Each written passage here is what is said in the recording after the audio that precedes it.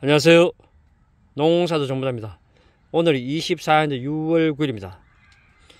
이름 상추 잘 키우는 방법 알려드릴게요. 3, 4월 달에 모종 심으신 분들, 씨앗 뿌리신 분들 거의 한 6월 말에서 7월 초순 되면 수확이 다 끝납니다. 그러면 여름 상추를 이제 먹기 힘들죠. 제 유튜브 보시고 5월 달에 씨앗을 뿌리신 분들은 제 따라 하시면은 금상추를 먹을 수 있습니다. 7월 달, 8월 달 까지 엄청나게 맛있는 금상추를 먹을 수 있습니다. 지금 만약에 씨앗을 뿌리신 분 중에 한 열흘 미만 되신 분 있죠. 열흘 미만 되신 분들은 제 따라 하시면 됩니다. 기존의 거는 제가 계속 영상 올려드렸기 때문에 아마 아실 겁니다. 제가 일주일 전에 여름상추 씨앗 뿌렸거든요. 잘 보시면 잘 올라왔습니다. 이게 엄청 잘 올라왔죠. 지금 요때 꼭 해야 할 일이 있어요. 엄청나게 중요한 할 일이 있습니다. 여기 잘 보시면은 거의 상추 씨앗밖에 안 보이는 것 같아요. 보시면. 그런데 뭘 해야 되냐면은 여기 있죠. 여기 뭐 보이죠? 여기. 상추하고 상추 사이에 이렇게 있잖아요. 호미를 맺어야 돼요. 엄청 중요합니다. 요걸 왜 맺어야 되냐면 지금 요 안에 눈에는 안 보이지만 풀씨앗들이 엄청나게 많아요. 요걸 안 맺으면은 어떤 현상이 생기냐면은 아예 상추가 작기 때문에 풀이 더 빨리 자라요. 풀이 빨리 자라버리 보면은 이 상추가 키우기가 상당히 힘들어요. 이렇게. 상추가 거의 한 이 정도 클 때까지요. 요것도 이름 상추거든요. 제가 5월 11일 씨앗 뿌렸는데 요거를 지금 수확해 먹고 있습니다. 그러면 6월달, 7월달, 8월달까지 수확하거든요.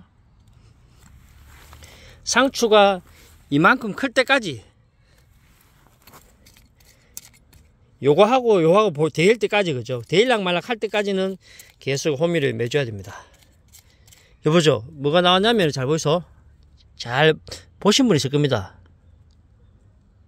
어, 잘 안 보이는데 잠깐만요. 또 보여줄게요. 나옵니다. 나오게 되었습니다 이게 풀이 보입니다 풀 풀뿌리가 풀뿌리가 엄청나게 길게 나와 있어요 엄청나게 이, 이 풀이 이 풀이거든요 이렇게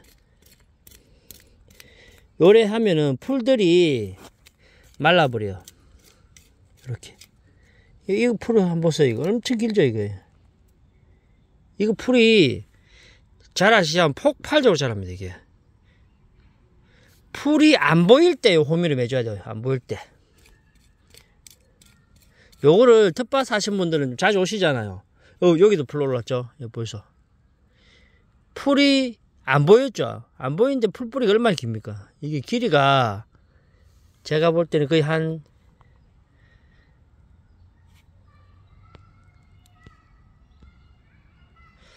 풀 길이가 한 3cm는 됩니다.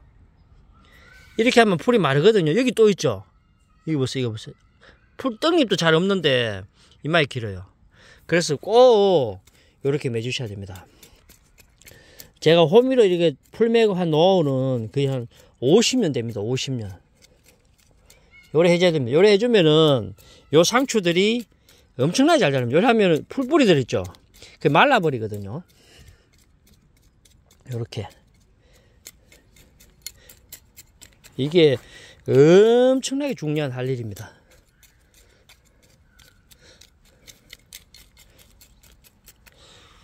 표시나죠?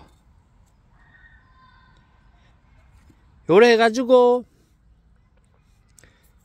그 다음에 땅이 마르면요 땅이 마르면은 요즘은 이제 내일부터는 온도가 더 올라갑니다 32도 33도까지 올라가거든요 물은 땅 따라 다릅니다 땅 따라 다른데 물을 줄 수만 있다면은 요즘 같은 경우는 이제 물도 아침 일찍 줘야 돼요 물을 아무 데나 주면 돼요 물을 낮에 주면 이 상추 잎이 뜨거워요 아침에 텃밭에 올 수 있다면은 일찍 줄수록 좋아요 5시나 6시나 7시까지 주면 좋아요. 그리고 내가 아침에 진짜 바빠가 못 왔다 이러면은 오후에도 최대한 늦게 주면 돼요. 해가 완전히 넘어가고 6시나 7시나 이때 주면 좋습니다. 낮에 뜨거울 때 주면은 상추들은 여름 상추 키우기 힘듭니다. 그 뜨거움을 붓는 거하고 똑같아요. 거의 물은 거의 매일 촉촉하게 땅이 마르면 촉촉하게 좀 자주 주시면 좋습니다. 그 지금 요래 제가 오늘 했잖아요. 그죠? 오늘 6월 9일이거든요. 일주일 만에 씨앗이 바로 잘 됐거든요. 그러면 또 한 2, 3일에 한 번씩 자주 뭐 내, 오늘 매고 내일 매도 상관이 없어요.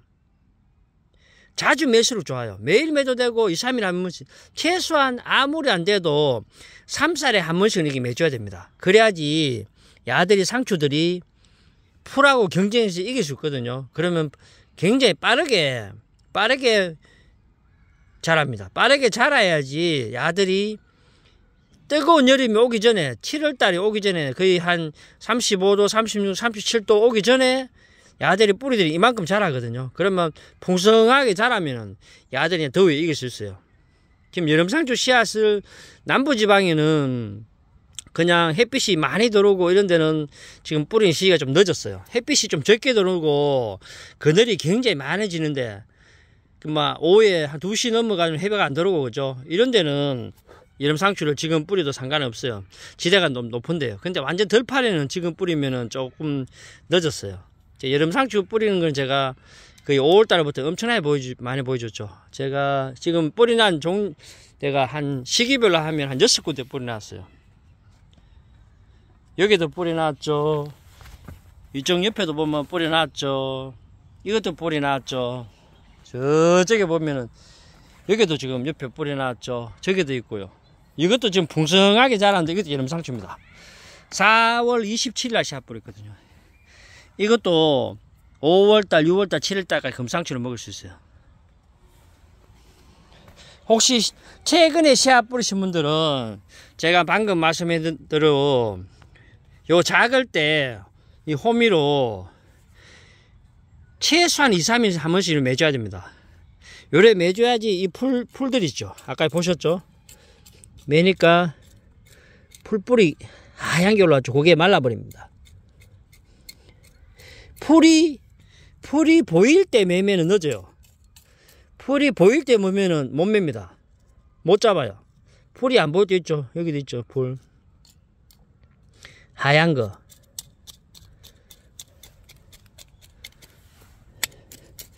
이래야지 풀을 잡을 수 있습니다. 풀도 잡지만 상추가 월등히 빠른 속도로 자랍니다. 월등히 빠른 속도로. 제가 오늘 또 이름 상추 잘 키우는 방법 알려드렸어요. 제 따라 하셔가지고 여름에 금상추를 드시면 좋겠습니다. 호미는 사실 때 요런 납작 호미 있죠. 반달처럼 내가 최대한 작은 걸 사시면 좋아요.